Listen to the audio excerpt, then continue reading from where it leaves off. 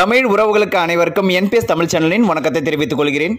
பதினேழு எட்டு ரெண்டாயிரத்தி இருபத்தி மூணு இன்று கோயத்தில் வந்த முக்கிய செய்தியை இப்பொழுது பார்க்கலாம். செய்திகளை வழங்கிய அரப் தமிழ் நியூஸ்க்கு நன்றி. குவைத் தினாருக்கு எதிரான இந்திய ரூபாயின் மதிப்பு கடுமையாக சரிவை சந்தித்துள்ளது.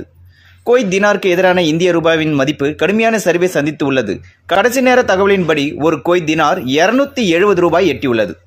இந்திய ரூபாய் ஆயிரம் ரூபாய் மூன்று தினார் எழுபத்தி மூணு ஃபீல்ஸ் தினாராக போதுமானது. கடந்த அக்டோபர் மாதத்திற்கு பிறகு கோய் தினாருக்கு நிகரான இந்திய ரூபாயின் மதிப்பு கடுமையான வீழ்ச்சி அடைவது இதுவே முதல் முறையாகும். கடந்த இரண்டு நாட்களாக டாலருக்கு நிகரான இந்திய ரூபாயின் மதிப்பு சரிந்து வருகிறது. கோய் தினாருக்கு நிகரான ரூபாயின் மதிப்பு சரிவதற்கு இதுவே காரணம் என்றும் யுஏஇ பணி பரிமாற்ற மையத்தின் பொது மேலாளர் கிருஷ்ணகுமார் தெரிவித்தார்.